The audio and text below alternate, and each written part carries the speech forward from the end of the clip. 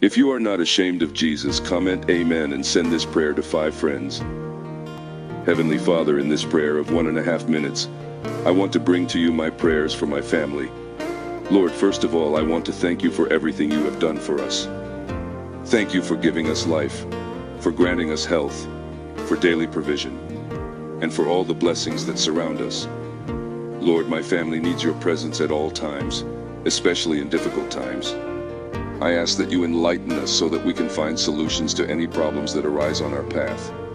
Lord, give us discernment to make wise decisions and help us maintain unity in the face of adversities. Help us to love each other more, to forgive, and to be tolerant. We ask for your blessing and protection over each member of our family, that our paths may be prosperous, that our health may be restored, and that peace may reign in our hearts and homes. Lord, thank you for being a God who is always present, who loves us infinitely, and who never abandons us. May we follow your paths and always obey you. In the name of Jesus Christ, who taught us to love our neighbors as ourselves, I pray.